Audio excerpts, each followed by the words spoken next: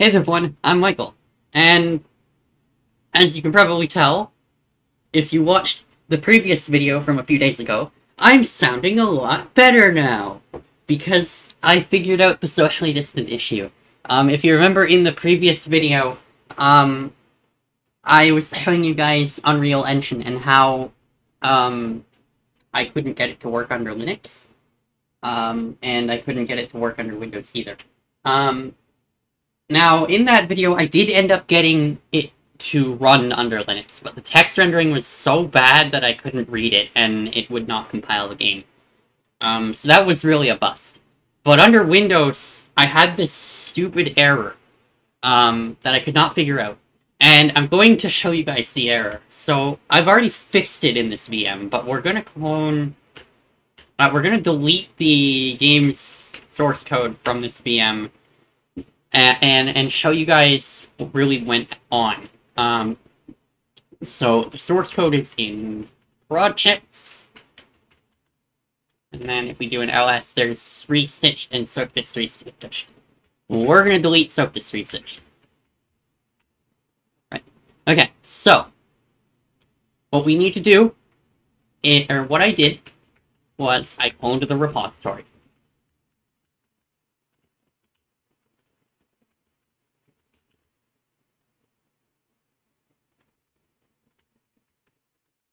Oh wait, no, it's Circus 3 Station. Uh, with one S, not two. Um, oops, okay. Stoke this 36. We hit clone on that. And it's going to be relatively quick. And it has cloned. So then what we do is we hop into that directory. And we run the U project file.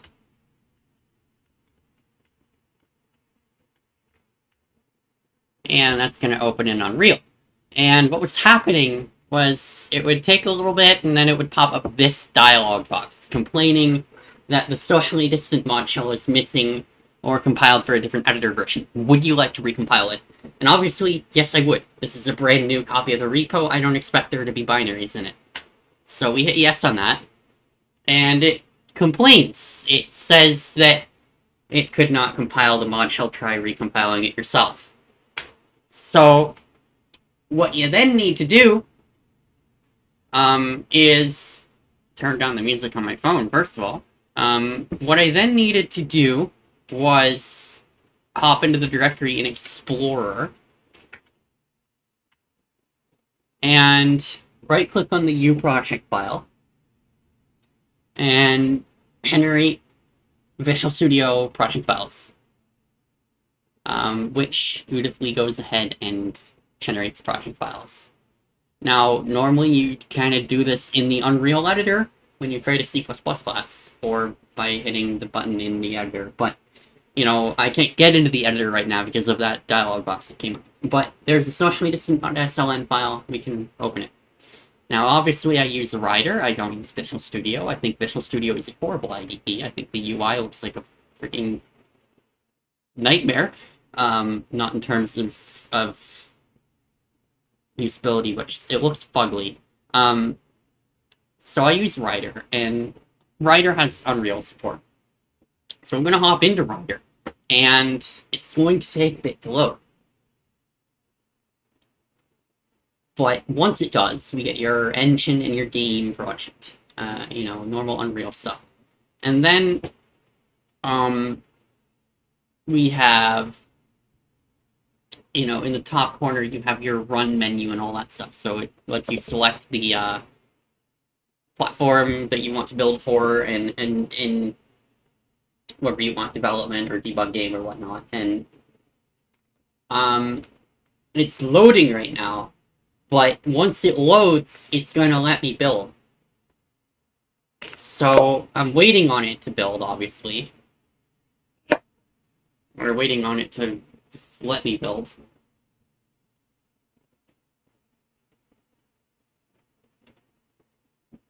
Um, come on.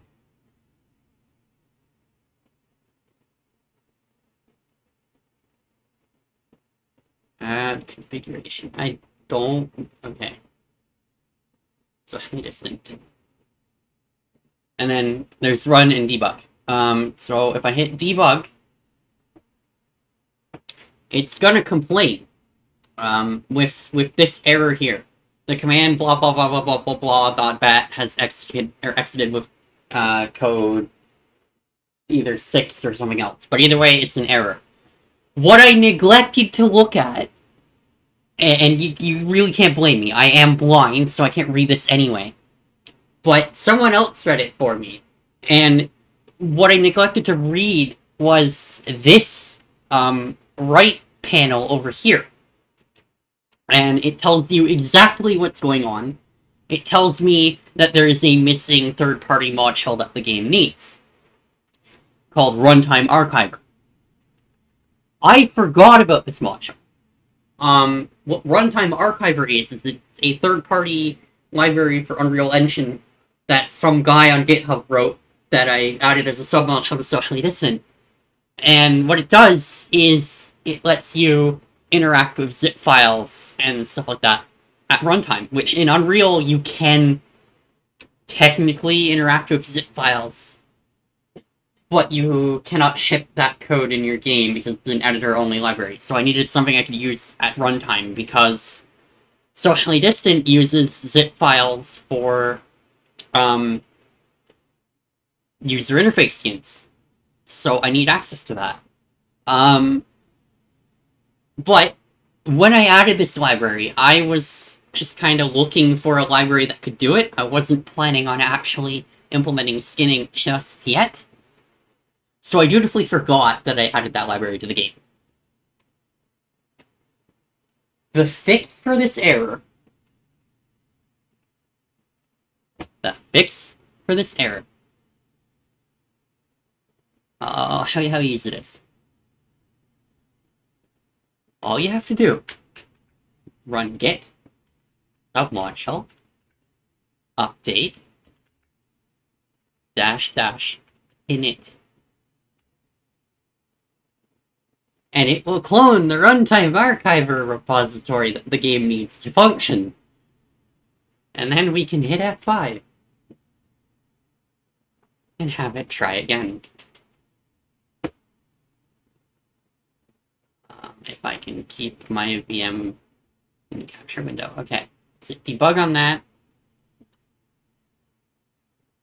And pretty soon it will go ahead and start compiling the game.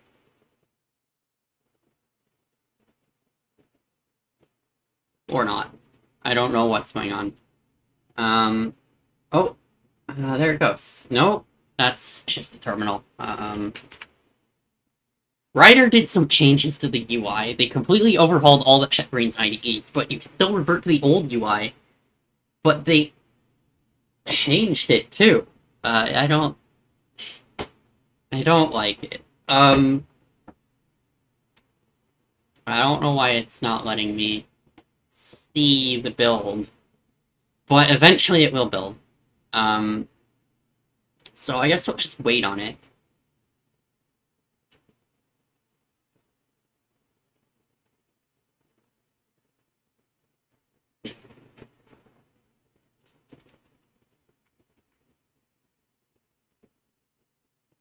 Come on. Suppose I can click build.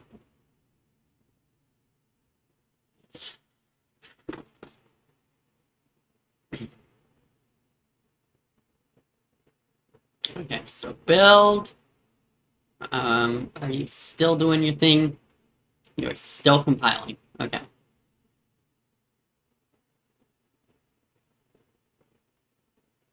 Okay, so it just finished. Alright. So now Unreal is starting.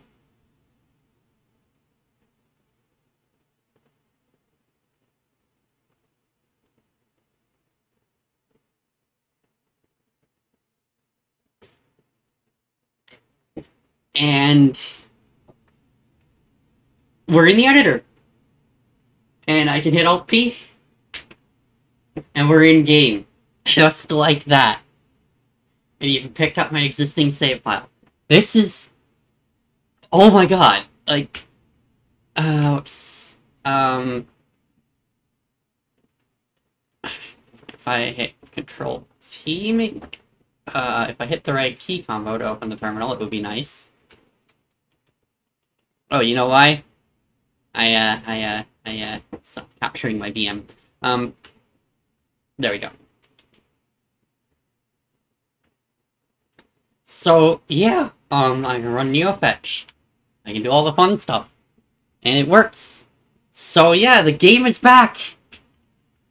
Um, I'm, I'm incredibly happy. I'm glad I figured that out. I needed a second pair of eyes from the Unreal Slackers Discord to help me out there. But, we're back. I don't have to write a game engine. I don't have to rewrite the game in another engine. I can continue development of Socially Distant for Unreal Engine. With that said, as always, I hope you enjoyed the video, I hope you learned something, and I'll see you guys in the next one. Thanks for watching. Oh, by the way, I revamped my website. It's back.